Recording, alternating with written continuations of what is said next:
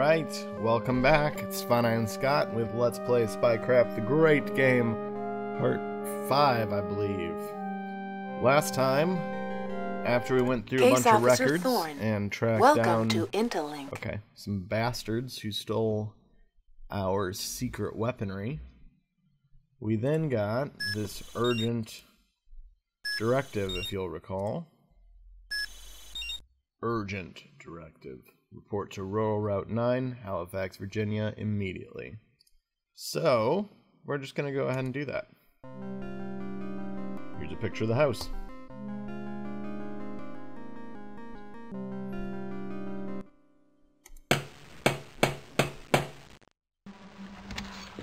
Sorry about the theatrics, but under the circumstances, they were necessary. Why?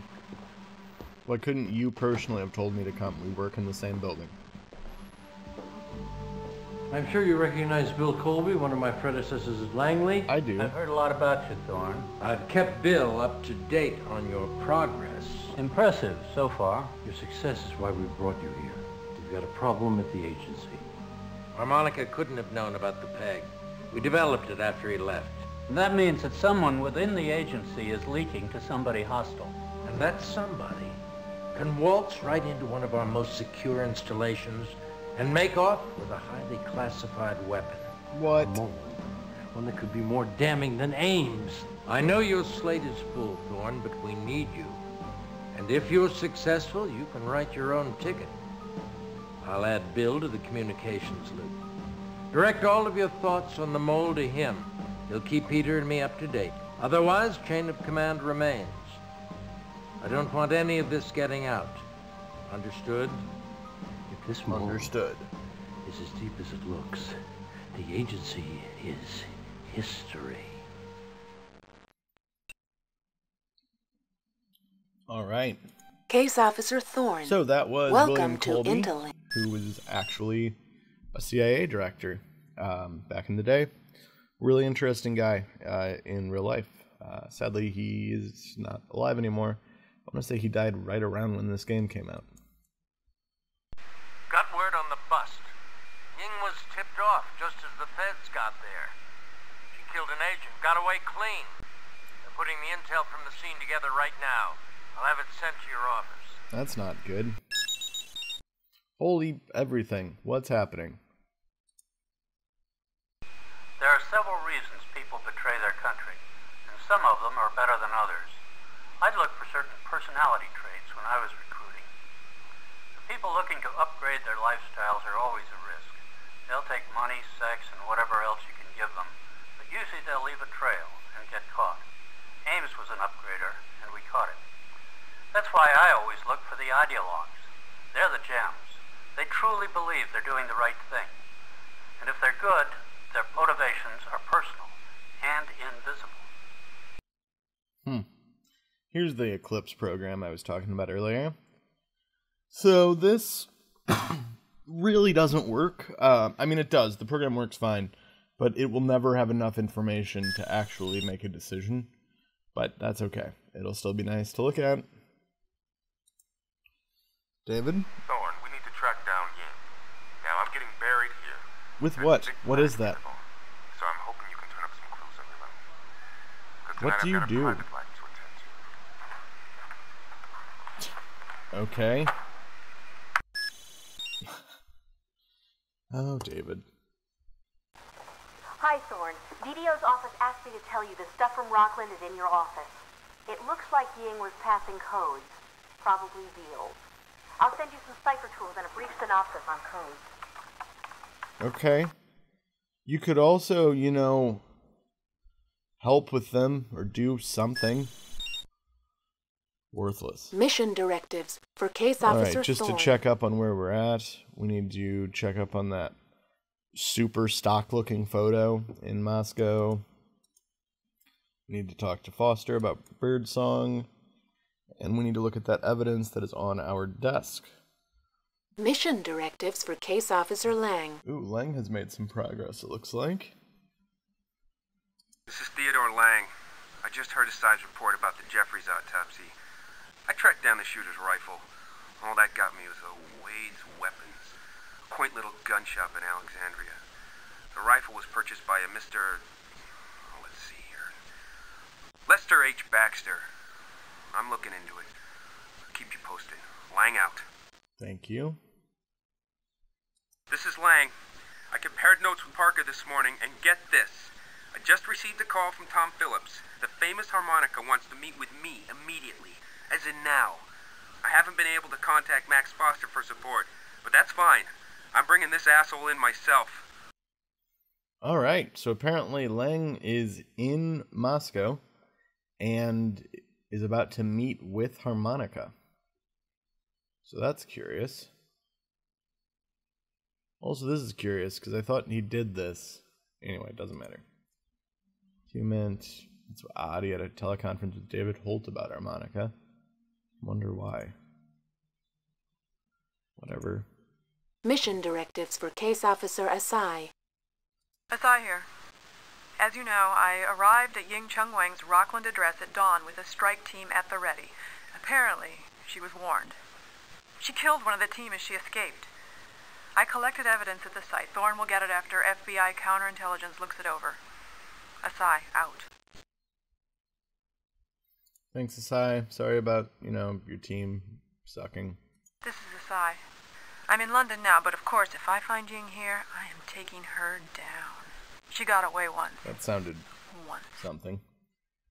Okay. Analyze troop movements, Russian nuclear facilities. What? Okay, I don't know what that's Mission about. directives for Case Officer Parker. Parker apparently also Case in Officer Parker reporting. I'm about to meet with Owen Pearson. Oh, right, Rajiv Station Jalalabad. Someone he's been trailing. We've heard that. But oh, he did contact Nooney and Fong finally. Uh, and then he's done nothing else. Literally, the only thing he's accomplished in the past like days of game time is meeting with Nooney and Fong. So that's perfect. Hi, Younger. MP. Just wanted to say Patricia. hi. And we're moving. Also, note we could go to Moscow at any point here and do that. Or, well, not do all of it, but at least start on meeting with Max Foster and Birdsong and all that. But I'm doing it in an order that has a little bit less back and forth. Makes a little more sense to me. Also, I think this is the part of the game where if this were the Windows version, there'd be an additional disc here on the table. Um, and if it is, I will try to cut in some footage of that later, maybe do it as a bonus video. There's like a bad Mahjong game you can play in the Windows version that if you beat it, you get a lame clue. Um, so maybe I'll see if I can get that to work uh, for a bonus video. Anyway, let's look at what we've got here. The Electronic Book of the Month Club. It's almost like the internet's here in 1996. All right. So, ooh, The Rabbit Hound. It's an astonishingly realistic mystery wrapped up in an up to the minute technical thriller. That's that's exciting. Okay, whatever. Back. Uh, the Khan and I is a buddy story about a skinhead Buddhist who's thrown into an alternate universe. Yeah. Sure. Whatever. What did I just do? Did I do what I wanted to do? Four to six weeks for delivery. Perfect. Let's download that instead. Now, sadly, they have not actually typed up these amazing sounding books. But I'm just going to download them just in case, because if Ying had them, maybe I'll need them for something. Doop doop doo. And apparently we'll be getting a floppy in four to six, six weeks, so watch out for that. Right, here's the book Beowulf. I don't recall Beowulf being nearly as long as it looks in this, but whatever. Here is a picture of Ying and Grendel. He looks really small in this photo, like his head is tiny. And Hawaiian shirt guy. Good, good, good work. You keep doing you. Alright. This was stuck inside a copy of the Internet Starter Guides in the section posting messages to news groups. Okay. These are Beale codes. Uh, it's a book code where usually the first column represents a page number, second column represents a line, third column represents a word on that line. So it's very easy to decode if you have the right book or other code source. If we click the note over the computer, Thorne will type it in for us. So then I can go into the cipher tool and see Ying's note. Link established to National Security Agency. Now, this does all kinds of different decoding, sorta. Um, actually, there's Case Officer Thorne. Link That's is not what I wanted. That's what I wanted. Okay, this tool can be used to decrypt encoded messages through all different ways. Um, it we're never going to use like any of this, um, but it can do a basic substitution cipher. It can do a complex substitution cipher. Perfect. A transposition cipher. The Beale, which is what whoops, which is what we're actually about to decode. Does it explain this? Yeah, line 34, character 45, page 101. Yep. Then DES ciphers. Uh, yeah, DES encryption is not computationally infeasible, for the record. Um, though when this game came out, we didn't. I guess we didn't know that for sure at the time, but now we do. I have no idea if Redoc 2 ciphers are a real thing. They might be. Never heard of them. Loki ciphers are classified. Don't worry, we'll never see one. Idea ciphers are are not classified. Uh, it's a type of one-time pad-based encryption, I believe. Public key encryption. This is uh, what we use, I think, within the game in our email system, though it's never really mentioned. So anyway, that was some useless information about code breaking. We will never use this. We'll never use this. We'll never use this. We'll never use this. We'll never use this. We don't even have the option to use any of this. Beale. All right. What was the book she had? She had Beowulf. Use Beowulf. Sorted. Decryption successful. Grendel. Mirage said nukes you acquired at Dubna will bring good price. Call the buyer. As soon as I'm done in Moscow, I'll join you in Istanbul. My thoughts are always with you. Raven. Okay, so quite a bit happened here. We know who Grendel is. I think we can assume that Raven is Ying Chung Wang. Mirage must be someone they work for or works with them or something.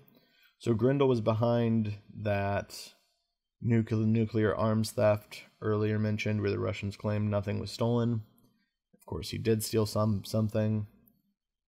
And Raven or Ying is heading to Moscow and then going to meet up with Grendel in Istanbul. So quite a bit of information. there, Opening actually. email gateway. I have located, well, I've located a number of pe- people actually, but most importantly, Ying Chung Wang. It, where is it at? She stated in the encryption message that, oh my god, she would be in Moscow. Thorne. Message sent. God, that's fast. Got a present for you. Thank you. We have confirmed that Ying is in Moscow. Asai is heading up a team to take her down. Now, Max Foster will be calling you to let you know how it goes. But just in case, I'm going to send you some tools for planning interrogations. We may want to leverage her relationship with Grendel to get her to talk. Okay. The photo doc tool. This might be the worst part of the game. Um, this photo doc tool, not good. Uh, sadly, I don't think I have Case anything Officer else to Thorne. do right now, Welcome. unless I go to Mission Russia. directives for case officer. No, I have nothing else to do. Damn it. Okay, the photo doc tool it is. That's how Photo we'll this doctoring video. tool enabled. This is from V Systems. That's the same fake asshat company who makes Mix and Match, so you, you you know it's good. There's stuff in the CIA archives, whatever. Hmm. so the idea is we have a picture of dude in room. We need to make it look like it's Grendel and that he's in Istanbul. How do we do this? We fake a photograph of him. So, what language would the newspaper be in Istanbul? It would be in Turkish. Uh, now, Lord knows what you're supposed to actually do here. Um, in my opinion, however you do this, it looks awful. And in fact, usually when I get it to work, it looks worse than some of my other shots. So, no idea. Cigarettes. Um, for this one, you have to remember from one of the uh, intelligence reports earlier that he smokes Emperor fil- filterless. Which, if we can note real quick, these are clearly camels, these are Newports, these are Pall Mall, and these are Lucky Strikes, in case anyone's missing out. I don't know why they're called Silk Lights, though. They're clearly Lucky, Lucky Strikes, though. That makes no sense. Unless they're supposed to be like silk cuts or something British. Okay, getting too sucked into this now. Moving on. Okay, have a giant box of cigarettes there. It's you know, it's bigger than your head, but that's fine. Um, sure, there's some stuff. Grendel faces. Again, none of these faces really look right, but that's fine. We should use the one with the cigarette in it. that won't be awkward at all. Giant head Grendel. Boop, boop, boo. Ah, that's a good photo right there. That's a good one. Let's see. oh, I've never gotten that on my first try before, but that photo. Oh, that was too good. All right, so yeah, if you guys ever need to doctor a photo, that's how to make it look right there. All right, Greg McManus over at the National, whatever it was, Photographic Interpretation Center. Uh, has been buried with Dubinsky stuff, but Seaton has to look at it. Light sourcing and perspective are on target.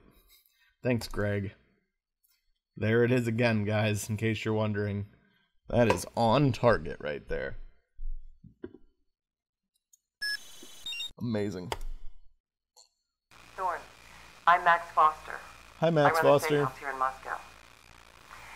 I've got Ying. Come deal with her soon. Lean in close. I have to ship her back to the States. Lean in real close.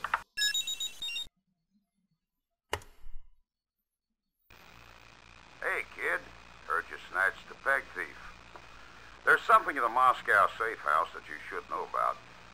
It's an interrogation device left over from the Cold War. They've got it stored in a place they call the bullpen. You won't like it much, but it gets the job done, and most people survive the ordeal. Okay. It's more about the bullpen in our archives. We will check that out in a moment. Actually, we'll check that out now. Case Officer Thorne, controlled access authentication. Welcome. Power play compartment access. This is at the neurosynaptic stimulator. The bullpen. Facilitator of communication between intelligence officers and non cooperative agents. Applies increasing volt- voltages to a human body at several extremities and at the temples. Sounds horrible. CIA has no known classification for instruments that inflict torture. CIA does not condone that methodology. Blah, blah, blah. KGB pioneered the use of the NSS as a means of extracting UMENT. The NSS, blah, blah, blah. So I'm not sure how we got one at our office, but apparently it's originally a Soviet tool. And we got one for some reason. It's Warhurst. Listen, I know Milkovsky may have recommended some, how can I put this, extreme measure to get information from Ying.